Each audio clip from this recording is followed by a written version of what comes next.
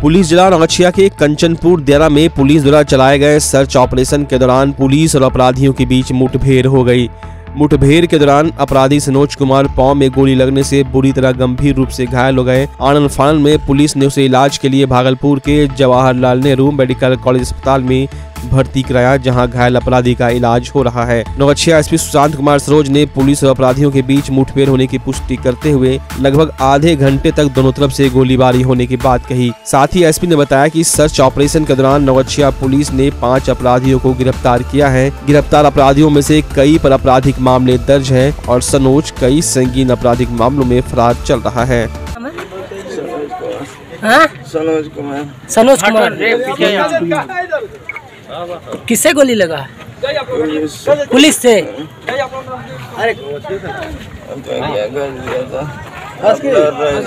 कौन मामला में हो?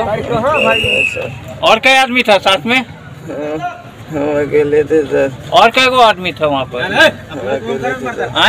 अकेले थे सर। मेरा हाथ लड़ रहा है सर।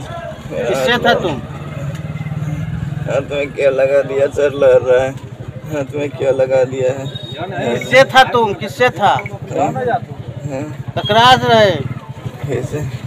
कुछ दिन पहले एक मकई से लगा हुआ ट्रक को, है ना, लूट लिया गया था। जिसमें से कि गिरफ्तारियाँ हुई हैं। उसमें से ये भी शामिल था। जिसमें कि ड्राइवर की हत्या कर दी गई थी। लेकिन पुलिस जानकारी मिलते ही इसे जानकारी मिला, एसआईटी जो बनी हुई थी, वो बहुत कम समय में जो लूटा हुआ जो मकई था, वो बरामद कर लिया गया, पूरा बरामद कर लिया। और जो अपराधी थे उसे शामिल गिरफ्तारी की गई है उसमें ये भी वांछित था।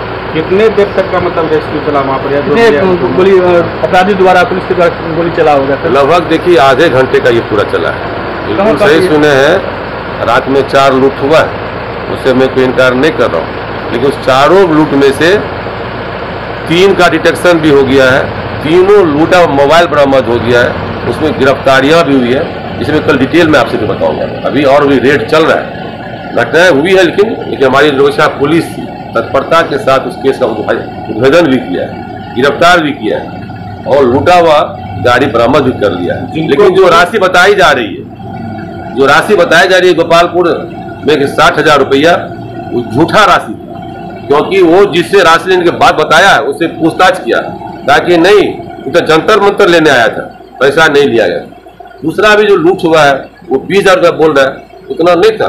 उसके जेब में मात्र था तीन सौ रुपया। उसका लूट हुआ।